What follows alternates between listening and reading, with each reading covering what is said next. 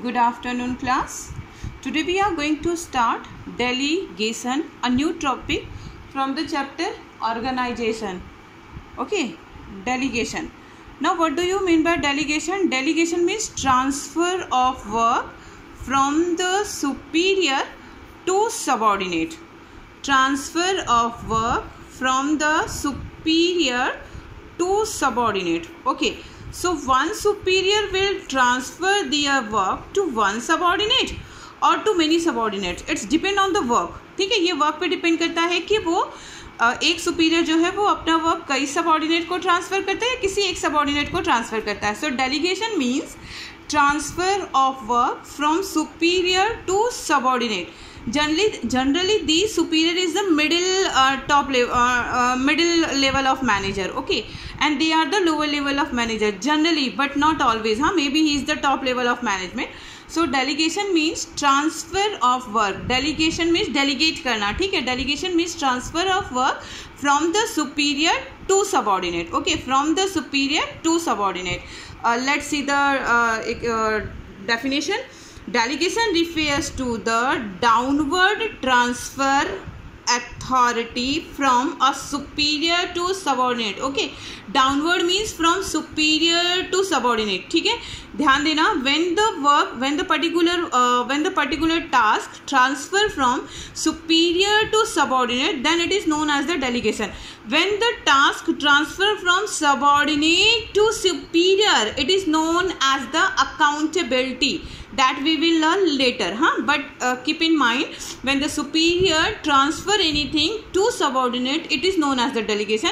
But when the subordinate transfer the things to superior so it is known as the accountability. Accountability means feedback that we will learn later.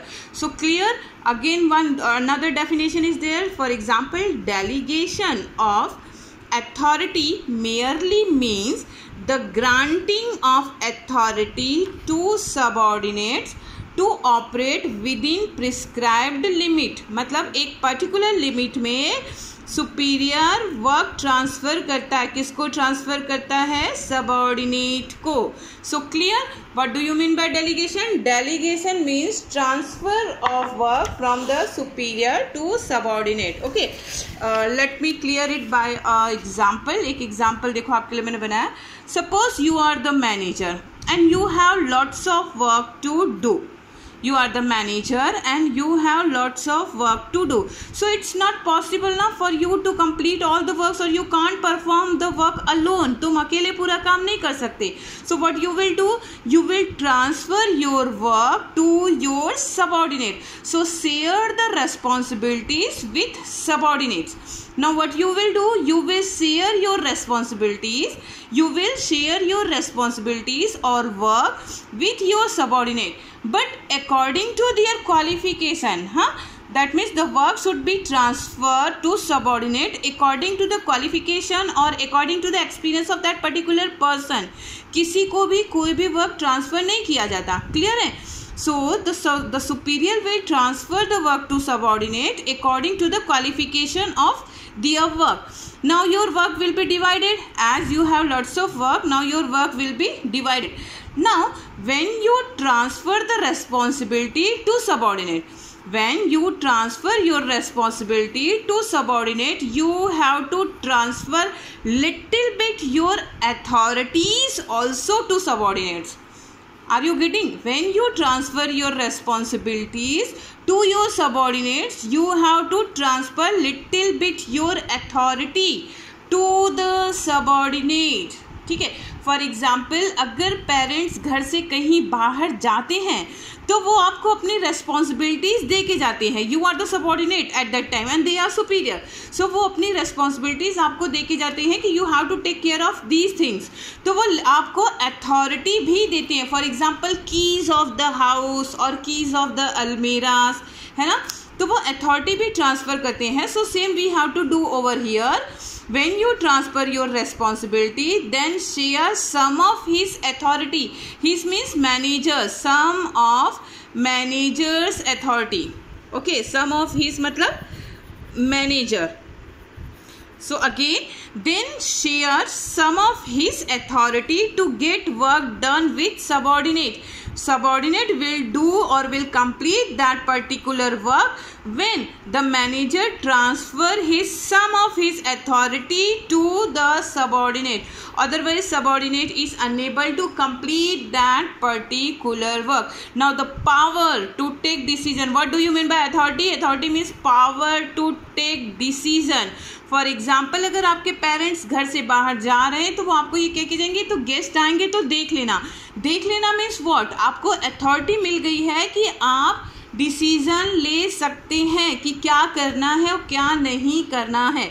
So when the superior transfer his responsibility to the subordinates he have to transfer little bit authority और some authorities to the subordinate to complete that particular work otherwise subordinate is not in able to complete that work okay now when the manager transfer his responsibilities and authority to subordinate now what is the duty of the subordinate? Now what the subordinate will do?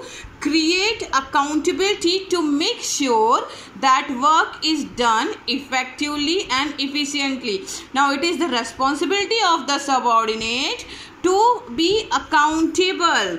It is the responsibility of the subordinate to be accountable. Accountable matlab feedback to give the feedback ये responsibility होती है subordinate की कि वो feedback दे किसको? Manager को। कैसा feedback about the completion of that particular work that how much work is completed is it clear so that is the flow of the chart. First the manager will transfer the responsibility then transfer little bit authority and then take back the accountability. Now responsibility means the work division of the work authority means little bit power transfer of power from one hand to another hand. And accountability means giving the feedback wapas feedback dena that should be given by the subordinate to his superior that this much of work is completed by me or by my team okay so these three things are that is the responsibility authority and accountabilities are the elements of the manage uh, elements of the delegation that we will learn in the next video. Thank you.